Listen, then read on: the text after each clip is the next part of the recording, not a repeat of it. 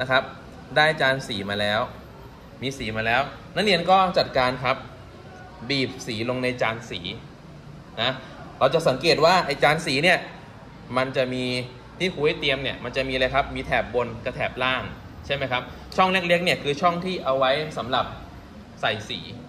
ให้เราแบ่งเป็น 2 วันนะของสีครับ ก็คือด้านบนเนี่ยหรือด้านใดด้านหนึ่งก็ได้ เป็นสีอุ่นวันนะร้อน อีกด้านหนึ่งเป็นวันนะเย็น นะครับ เพราะว่า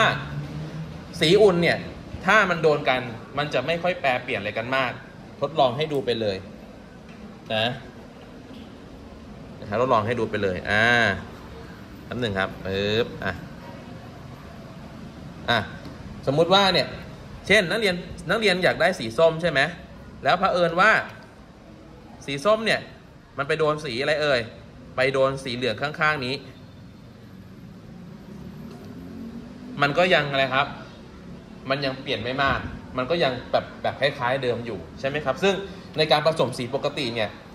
สองสีข้างๆกันเนี่ยมันอาจจะมีน้ำไหลเข้าไปได้ไปโดนได้ ถ้าเป็นสีวันณะเดียวกัน อุ่นเหมือนกัน มันโดนกัน มันก็ไม่ได้เปลี่ยนอะไรมากอะเช่นสีชมพูมาโดน มันก็ไม่ได้เปลี่ยนอะไรมาก เราก็สามารถจริงสามารถใช้ต่อไปได้ แต่ถ้านักเรียนบีบสีแบบผิดผิดยังไง เช่น นักเรียนเอา สีที่เป็นวันนะร้อนเนี่ย เช่นสีส้มเนี่ย อะสมมุติว่าสีส้มสีชมพูเนี่ย มันไปอยู่ข้างสีเขียว อ่าเนี่ยบีบแบบไม่สนใจอะไร เราไปอยู่ข้างกัน แล้วสีมันเกิดโดนกันอะเราอยากใช้สีส้ม แต่มันไปเลอะสีเขียวมา มันเป็นยังไงครับ สีมันเปลี่ยนเยอะ สีมันจะเปลี่ยนเยอะ เปลี่ยนแบบเปลี่ยนไปอีกสีหนึ่งเลย มันจะใช้ต่อไม่ได้นะครับ นี่เป็นเหตุผลว่าทำไมคุณครูถึงให้ซื้อจานสีแบบนี้ เวลาเราบีบสีใช้ปุ๊บเราใช้สีมันจะมีความสะดวกสบายนะการใช้สีน้ำหรือการทำอะไรก็ตามอุปกรณ์เนี่ยมันควรจะเป็นอุปกรณ์ที่ถูกหลักที่มันพร้อมนะครับ จานสีแบบนี้ จานสีแบบนี้มีช่องสำหรับใส่สีตรงนี้เพียงพอ นักเรียนบีบบีบสีเข้ามา นักเรียนก็ไม่ต้องล้างเนี่ยครับสีพวกนี้มันจะถูกล็อกตำแหน่งอยู่แล้ว นักเรียนใช้เสร็จแล้วนักเรียนล้างแค่ช่องใหญ่ นักเรียนไม่ไม่ต้องไปล้างช่องเล็กๆ ช่องเล็กนี่คือเราเก็บไว้นะครับ ก็คือเติมสีไปเรื่อยๆ อย่างเช่นจานจานนี้เนี่ยคุณครูก็คือก็เติมสีไปเรื่อยๆ ถ้ามันใกล้หมดไม่จำเป็นต้องล้างนะครับ มันก็จะใช้งานได้สะดวกสบายแบบนี้ ใกล้ๆแห้งแล้ว เราก็จะพับเก็บได้ พับเก็บในกระเป๋าได้นะ แต่ถ้าเป็นจานสีแบบว่าจานสีแบบกลมๆ จานสีเด็กๆอะ่ะที่เป็นดอกทานตะวันอะไรอย่างเงี้ยเคยเห็นใช่ไหม ถ้าแบบนั้นเนี่ยช่องบีบสีพอไหมช่องบีบสีก็ไม่พอแล้ว แล้วเราจะไปผสมสีที่ไหนได้ ถ้ามันมีไม่พอปุ๊บเวลาผสมสีไม่สะดวก งานมันก็ออกมาดีไหมมันก็ออกมาไม่ดีนะครับ ความสำคัญของอุปกรณ์เนี่ยค่อนข้างสำคัญมากๆ มันไม่มีครับคนนี้คือยอดฝีมือ มีดินสอแท่งเดียวก็สามารถสร้างสุดยอดงานศิลปะได้แล้ว มันไม่ใช่ครับ มันไม่มีนะทุกอ่าอย่างเช่นวันนี้ยอดฝีมือเยอะมากเลย นะครับ มาตัวเปล่าแล้วก็คิดว่าจะมาเรียนสีน้ำได้อย่างแบบเก่งๆ มีประสิทธิภาพเลยไม่มีนะครับ เหมือนเราไปเหมือนเราไปแข่งฟุตซอลวันนี้มีฟุตซอลใช่ไหมอ่าไปแข่งฟุตซอลวันนี้แต่ไม่มีรองเท้ามาฮะนะเหมือนแข่งฟุตซอลแต่ไปวิ่งเท้าเปล่าอะสู้เขาได้ไหมฮะไม่ได้นะครับ เหมือนแข่งบอลในสนามหญ้า แต่ไม่มีรองเท้าสตาร์ทอะนะเพื่อนๆมีกันหมดเลย ไม่มีแข่งได้แข่งกับเขาได้ไหม สู้ได้ไหมนะครับลื่นลื่นลื่นทั้งสนามนะครับลื่นตลอดเวลานะไปโดนสตาร์ทเขาเหยียบอีกนะครับ เห็นไหมครับว่าอุปกรณ์มันมีความสำคัญนะมันไม่มีหรอกประเภทยอดฝีมือมาตัวเปล่าแล้วทุกอย่างทำทุกอย่างได้ อันนั้นมีแค่ในภาพยนตร์ มีแค่ในหนังนะครับจำไว้ให้ดีๆนะอะนี่มาดูอุปกรณ์ตรงนี้ตรงหน้าเรานี่คือจานสีนะครับครูใช้เสร็จแล้วเนี่ยคุณครูก็จะก็จะล้างจานสีตรงนี้ให้เรียบร้อย นะมันก็คือความสะดวกสบายและมันก็คือนะพื้นที่ตรงนี้ต้องใหญ่ เดี๋ยวครูจะระบายสีให้ดู เราจะรู้เลยว่าเวลาผสมสีเนี่ยนะครับ มันใช้เยอะจริงๆนะอะอุปกรณ์ต่อมา ผู้กันครูให้เตรียมแล้วเนาะผู้กันให้เตรียมแล้วรู้อยู่แล้วนะครับ กระดาษกระดานนี่กระดานเนี่ยมีความสำคัญกับสีน้ำมาก เพราะว่าสีน้ำเนี่ย กระดาษเนี่ยมันควรจะเรียบอยู่กับกระดานแบบนี้นะครับ บางทีเวลาเราต้องการให้สีมันไหลอะไรยังไง เราจะไม่จับกระดาษอย่างนี้ เพราะการจับกระดาษขึ้นมา มันจะทำให้กระดาษงอใช่ไหมครับ มันก็จะไหลแบบบางทีมันไหลแบบพังได้เลยผิดแปลกได้นะครับ เวลาวาดสีน้ำอะไรเนี้ยกระดาษเราจะจับอะไรแทนครับ จับที่กระดานแทน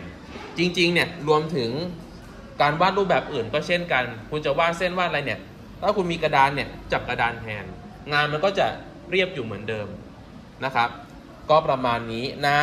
ำทำไมครูถึงให้มาเรียนข้างล่าง เพราะว่าข้างล่างนี้มีถังน้ำแบบนี้ที่มันมีหลายช่องนะครับ เวลาผสมสีเนี่ยเนี่ยนะช่องหนึ่งเอาไว้ล้างสี อันนี้เอาไว้ล้างคู่กันใช่ไหมครับสองช่องเนี้ยล้างคู่กัน ส่วนช่องน้ำใสๆเอาไว้ทำอะไรครับ เอาไว้ใช้ผสมสีเนี่ยมันมีเหตุผลทุกอย่างเลยนะครับทำไมอุปกรณ์ต้องพร้อมอะนี่คืออุปกรณ์พื้นฐานประมาณนี้นะครับ ที่คุณครูให้พวกเราเตรียมมา ก่อนอื่น คุณครูขอล้างจานสีแป๊บหนึ่งนะครับ ทีนี้การล้างจานสีนี่ฮะเอาผู้กันมาละลายสีตรงนี้นะครับเอาไม่ใช้และไม่ใช้นะเดี๋ยวครูจะล้างจานสีให้ใหม่เลยนะครับ จะได้เริ่มสอนห้องเราแบบตั้งแต่เริ่มต้นเลยอะล้างจานสีให้เรียบร้อยเอาผู้กันมาถูถูๆสีนะครับ วนวนวนวนวนวนๆนี่ฮะ อ่าถูให้สีในนี้มันละลายนะครับ ถูเสร็จแล้วนักเรียนถ้ามีกระดาษทิชชู่นะ เอากระดาษทิชชู่เข้ามาปาดนะครับ แต่คุณครูไม่มีกระดาษทิชชู่นะครับคุณครูมีฟองน้ำของคุณครูเองนะครับนะฟองน้ำอันนี้ใช้ได้เลยนะอันนี้เรียกว่าฟองน้ำ PVA นะครับ ก็ไปหาซื้อได้นะครับ เป็นฟองน้ำสำหรับแบบซับโดยเฉพาะเลยนะอะเรียบร้อยฮะ คือก่อนที่จะวาดรูปก่อนที่จะอะไรเนี่ยเราก็ควรเตรียมอุปกรณ์นะครับเคลียร์จานสีให้เรียบร้อย พื้นที่แบบนี้ใหญ่นะฮะใหญ่แต่ก็ใช้ได้หมดอะพื้นที่ในการผสมสีเนี่ยสำคัญมากสำหรับการระบายสีน้ำค่อยๆดูไปนะครับ ดูแล้วก็ทำความเข้าใจไป เดี๋ยวถึงเวลาสัปดาห์หน้า คุณครูจะให้พวกเราเริ่มลงมือด้วยตัวเองแล้วนะครับ วันนี้ขอให้ตั้งใจดูก่อน อะ เรียบร้อยนะครับ เรียบร้อย อะ เรามาเริ่มต้นกันเลยดีกว่า สมมุติว่า อันเนี้ยเราบีบสีเสร็จเรียบร้อยแล้วทำอย่างไงต่อ เริ่มแรกเราก็จะอยากจะระบายแล้วใช่ไหมอะ เราคิดจะระบายสีแล้ว สมมุติว่านี่ครับ คุณครูจะพาพวกเราระบายสีข้างในขอบเขตของวงกลมนี้ นี่ เราจะระบายอย่างไรเนี่ยให้มันอยู่ในในพื้นที่วงกลมนี้ แล้วให้มันสวยงามแบบสีน้ำทำอย่างไรนะครับ มันสำคัญตั้งแต่ เริ่มแรกสำคัญตั้งแต่จานสีเลยอะอย่างแรกเลยคือการละลายสี การละลายสีนะครับ การละลายสี การละลายสีเนี่ยนักเรียนเอาผู้กันจุ่มน้ำครับ ผู้กันจุ่มน้ำนะ มน้ำอะเอามาไว้ตรงนี้ก่อน เอาสีอะไรดีให้เลือกฮะสีแดง เอาเป็นแบบชมพูได้ไหมแดงชมพูจะได้เห็นชัดๆนิดหนึ่งอะเอาน้ำลงมารอก่อน การระบายสีน้ำนี่ครับ เอาน้ำลงมารอก่อน เสร็จแล้วนี่ครับเล็งครับนี่คือสีที่เราต้องการใช้นี่เป็นแดงชมพูนะครับ ชื่อของมันคือโอเปร่าโรสชื่อสีมัน วิธีใช้นี่ครับพวกการแตะน้ำนะครับ แล้วก็เอามาแตะเบาๆที่สีครับ ละลายแบบนี้นะฮะดึงผู้กันถอยหลัง ถูที่เนื้อสี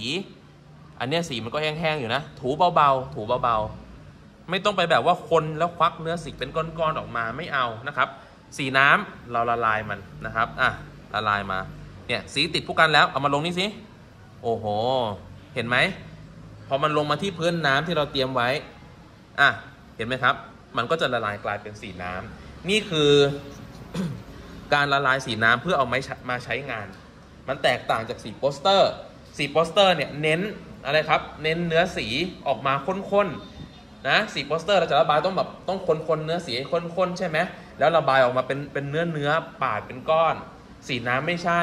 สีน้ำอย่าละลายมาอย่างนั้น อย่าทำเป็นข้นๆสีน้ำเนี่ยเราเอาผู้การไปแตะเนื้อสี ค่อยๆ แตะแล้วก็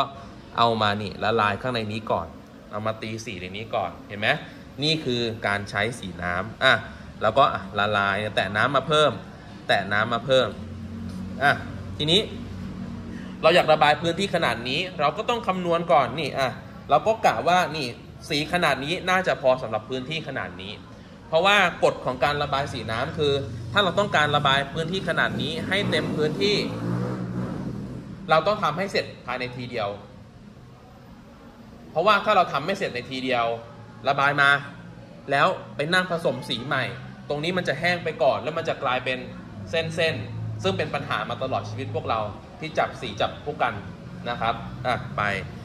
คือมันต้องทำในทีเดียวแล้วต่อเนื่องแล้วจบอะคุณคุณครูพร้อมแล้วพร้อมแล้วอะแตะผู้การตรงนี้โกยสีมาเข้าผู้กันเนี่ยฮะสีมันจะชุ่มในผู้กันเลยเสร็จแล้วเอามาระบายครับ ระบายไปเลย ไม่ต้องกดอะไรมากระบายไป ปาดไปนะครับ ทีนี้พอปาดไปปุ๊บ สีมันจะเริ่มหมดจากผู้กัน เราไม่ต้องรอให้ระบายแล้วสีหมดแห้งคาผู้กัน เราผู้กันมาแตะสีใหม่ครับ แล้วรีบเอาไประบายต่อ เห็นไหมเนี่ยนะครับนะกฎของการระบายสีน้ำคือ เราจะระบายต่อโดยที่เราจะไม่รอให้ขอบนี้มันแห้ง ขอบนี้มันจะแห้งไวมาก ไม่ถึงนาทีมันแห้งแล้ว เพราะฉะนั้นเนี่ยการที่เราเตรียมสีไว้ดีๆ มันจะทำให้เราได้ระบายได้ยังไงครับนะระบายได้ต่อเนื่องแล้วก็จบในรอบเดียวเนี่ยคือเสร็จแล้วสำหรับการระบายสีน้ำแน่นอนว่าเราอาจจะเห็นพวกน้ำนองบ้างเป็นรอยๆอย่างนี้บ้าง ซึ่งเป็นเรื่องธรรมดา เป็นธรรมชาติของสีน้ำเราจะระบายให้แบบเรียบเนียนแบบเป๊ะร้อยเปอร์เซ็นแบบทาผนังห้องไม่ได้ครับ สีน้ำมันจะเป็นแบบนี้นี่คือธรรมชาติของเขานะครับ เสร็จแล้วทำอะไรต่อนะไม่ต้องทำอะไรครับ เสร็จแล้วรอแห้งนะ เราต้องเราต้องคุมตัวเองให้ดี ๆ ด้วย บางทีเราเห็นเนี่ยเอ้ย ตรงนี้มันเป็นรอยหัวตายแล้ว เราต้องจัดการแก้ปัญหาด้วยตัวเอง เอาพวกกันไปจุ่มน้ำเอาไปปาดไปปาดมาปรากฏปรากฏว่า พังพังยิ่งกว่าเดิมนะครับ เป็นรอยพอเป็นรอยปุ๊บกระดาษเริ่มแล้วกระดาษเริ่มชุ่มและกระดาษเริ่มยุ่ยแล้ว มันก็จะเละเทะกันไปคุมไม่ได้ เพราะฉะนั้นสีน้ำได้อย่างนี้แล้วคือจบคือวางไปทำอย่างอื่นต่อ เนี่ยมันแค่นี้จริง ๆนะครับ แต่แค่นี้ แต่แค่นี้จริง ๆ ก็ไม่ได้ง่ายนะครับ เพราะว่าเราต้องสู้กับใจตัวเองนะบางทีเราไม่พอใจเราอยากไปแก้มันเนี่ยเช่นเนี่ยมีรอยอย่างเงี้ยเกิดอารมณ์อยากแก้มันพอแก้แล้วยิ่งพังจบเลยนะครับอะไปครับไปต่อไปต่ออะทีนี้ไปต่อ คุณครูอ่าต้องการระบายในนี้เช่นกัน นี่ในนี้เช่นกันนี่อ่าเปลี่ยนอีกสีหนึ่งอะ ให้เลือกสีอะไรดีในนี้ ให้เลือก สีอะไรดีครับทุกท่าน เขียววะได้ อะ เขียวจัดไปครับ ชมพูกับเขียวชมพูกับเขียวอะนี่ชมพูกับเขียวอะเหมือนเดิมไหมเนี่ยคุณครูค่อย ๆ เนี่ย ค่อยๆรูดผู้กันละลายมาละลายมาเห็นไหมอ่าก็ดูนะคาดการดูว่ามันจะพอสำหรับพื้นที่วงกลมไหมอะถ้าครูคิดว่ามันพอแล้วแหละ พอแล้วแหละมันพอแล้วอะไปเริ่มระบาย ปุ๊บมาไม่ต้องรอให้สีหมดนะครับ ไป นี่ผู้กันเนี่ย เวลามันปาดไปตรงไหน สีโดนตรงไหนแล้ว ก็จบมันเท่ากับระบายเรียบร้อยแล้ว มันไม่เหมือนสีไม้นะครับ ถ้าสีไม้เนี่ยเนี่ยสังเกตว่าบางทีเราต้อง เราอยากให้สีมันสดอย่างนี้ เราต้องอะไรจำได้ไหม เราต้อง ระบายซ้ำไปซ้ำมาให้สีมันสด ถ้าเป็นสีไม้นะครับ แต่สีน้ำคนละเรื่องกันนะสีน้ำเนี่ยผู้กันเนี่ยเป็นเพียงแค่ตัวกลาง การเอาผู้กันไปยิ่งถูไปถูมาไม่ได้ทำให้สีสดขึ้นนะครับเนี่ยคุณครูลองถู สีสดขึ้นไหมสีไม่ได้สดขึ้นนะครับ เพราะนั้นถ้าระบายแล้วก็จบไม่ต้องไปยุ่งอะไรเขานะครับ สีน้ำ มันจะสีสดไม่สดมันขึ้นอยู่กับการผสมสีของเรา มันขึ้นอยู่กับตรงนี้นะ มันไม่เหมือนสีไม้แล้วที่ว่าทุกอย่างอยู่ที่ปลายดินสอ สีน้ำไม่ใช่ สีน้ำไม่ใช่ทุกอย่างอยู่ที่ปลายผู้กันไม่ใช่ สีน้มันเริ่มตั้งแต่ตรงนี้เลย พื้นที่ตรงนี้ยสำคัญมากสำคัญต่อตัวงานมาก ถ้าจานสีเรามีไม่พอแล้วผสมสีลำบาก เราก็จะระบายตรงนี้ลำบาก จานสีไม่สะอาดพอ สีมันก็จะเน่าๆ หรือนักเรียนเรียงสีไม่ดีพอ ที่มันทำให้สีแบบสีต่างวันนะมาอยู่ข้างๆกันแล้วมันผสมกัน มันก็จะไม่ได้สีแบบของตัวเองที่มันสดขนาดนี้ นี่สีน้ำมันเริ่มตั้งแต่จานสีเลยนะสีน้ำมันไม่ได้ไปอยู่ในกระดาษทั้งหมด มันเริ่มตั้งแต่จานสีอะนี่คือสีเขียวนะครับอะครูขออีกสีหนึ่งแล้วกัน ขออีกสีหนึ่งนะ ให้นักเรียนดูจะได้จำได้นะจำได้แล้วก็ไปสอนเพื่อนๆที่ไม่อยู่วันนี้ด้วยนะนี่คือหน้าที่ของพวกคุณครับอะไปครูขอสีฟ้าได้ไหมสีฟ้ามาเนี่ยเอาพวกกันจิ้มน้ำมาจิ้มน้ำมาเตรียมไว้เสร็จแล้ว แตะสีเบาๆครับ เดี๋ยวสีเขาละลายเอง นี่คือสีน้ำนะครับ สีน้ำเดี๋ยวสีเขาละลายเอง นี่สวยงามมากสีฟ้าอ่าสีฟ้า ระบายนะ สีฟ้าเนี่ยคุณครูขอเอามาระบายแถวนี้แล้วกันสีฟ้านี่คุณครูอยากได้เป็นพื้นที่กลมๆด้วยอะว่าไปฮะปาดไปเลยปึ๊บปึ๊บเห็นไหมครับ คุณครูไม่รอให้สีมันหมดผู้กันนะนะครับ ไม่รอครูจะไปเติมสีเลย เนี่ย แล้วมันจะระบายได้แบบว่า ต่อเนื่องมาก ๆเลยนี่ครับ จริงๆ ไอ้เจ้าสีน้ำเนี่ยมันเป็นสีที่ทำไมมันถึงได้รับความนิยม เพราะจริง ๆ แล้วถ้าเราระบายเป็นเข้าใจมัน มันจะเป็นสีที่ระบายได้ง่ายมากเลย แป๊บเดียวมันเต็มพื้นที่แล้ว ถ้าเราระบายสีไม้กว่าจะเต็มพื้นที่สวยๆแบบนี้ ระบายไปเถอะนะครับ นานกว่าจะสวยแบบนี้นะอะโอเค อันนี้คือเรื่องของการ ระบายแต่ละสี ทีนี้อีกเรื่องสำคัญที่เราต้องเข้าใจในวันนี้และทำให้ได้คือ เรื่องของการผสมสีครับอะครูต้องการให้เราผสมสีสองสีนี้เข้าด้วยกัน ต้องทำอย่างไร ต้องทำอย่างไรนะเริ่มแรกนี่ครับ นี่ถูกต้องแล้วเราเตรียมสีไว้เรียบร้อยแล้ว เราต้องเตรียมสีไว้ก่อนนะเราจะไม่เอา สีสองหลอดมาบีบในที่เดียวกันแล้วค่อยเอาคนแบบนั้นมันกะปริมาณไม่ได้นะครับ เราต้องละลายสีมาอยู่แบบนี้ก่อนเนี่ยละลายสีเตรียมไว้อย่างนี้เห็นไหมเสร็จแล้วเราก็เอาไปผสมกัน ผสมกันอย่างไร เราก็ไปหาช่องว่างสักหนึ่งช่องครับนะล้างผู้กันให้สะอาดเริ่มจากสีชมพูก่อน เอาชมพูไปรอท่าก่อนนะครับ เอาชมพูไปรอท่าตรงนี้ก่อนนะชมพูไปรอ นะครับ ไปรอไว้ก่อน เสร็จแล้วคุณครูจะเตรียมจะไปเอาสีฟ้า เอาสีฟ้าเอาผู้กันไปจิ้มสีฟ้าเลยไหมไม่ครับล้างให้สะอาดก่อนล้างผู้กันให้สะอาดแบบนี้ครับ แค่แกว่งเฉยๆแกว่งเฉยๆเนี่ยดูตรงนี้ดูข้างหน้านี่แค่แกว่งผู้กันเฉยๆนะครับ เราจะไม่เอาผู้กันกระแทกไปอย่างนี้แกว่งแบบไม่ต้องไปโดนอะไร ผู้กันมันจะอยู่ได้นาน เสร็จแล้วมาเอาสีฟ้าครับ สีฟ้าแตะเข้าไป แล้วก็เอาไปนี่เอาไปใส่ในสีชมพู แล้วก็เบลนมันเข้าด้วยกัน ได้สีอะไรเอ่ยม่วงสวยไหมสวยมากๆเลยนะครับ เป็นม่วงแบบสวยๆอะขอเติมสีฟ้านิดหนึ่งครูอยากให้สีม่วงมันเย็นขึ้นอีกนิดหนึ่งอ่าโอเค เห็นไหมครับ นี่คือการผสมสีแบบสีน้ำนะเราจะแตะแยกเราเราจะเตรียมสีแยกมาก่อนเสร็จแล้ว เราค่อยไปผสมเข้าไปอีกช่องหนึ่ง เห็นไหมเนี่ยจานสีคุณครูนะใหญ่นะ แต่ก็อะไรครับ แต่ก็ใช้นะครับช่องแบบเยอะเหมือนกัน อะ ไปครับ ได้แล้วนี่คือสองสีนี้ฟิชเจอริงกันนะครับ นี่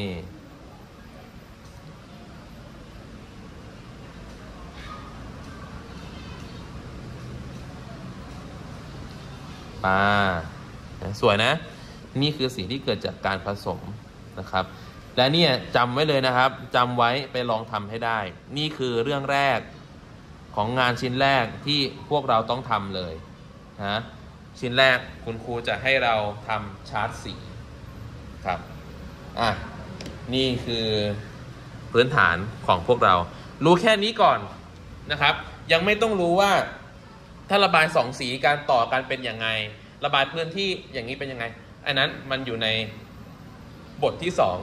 นะบทแรกรู้แค่นี้ก่อน รู้ว่าเราอยากระบายตรงนี้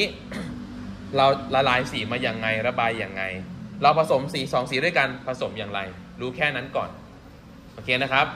วันนี้เนี่ยคือประมาณนี้นะครับอะนี่คือสองสีบวกกัน เท่ากับสีม่วงนะครับอะนี่คือพื้นฐานแบบพื้นฐานพื้นฐานเลย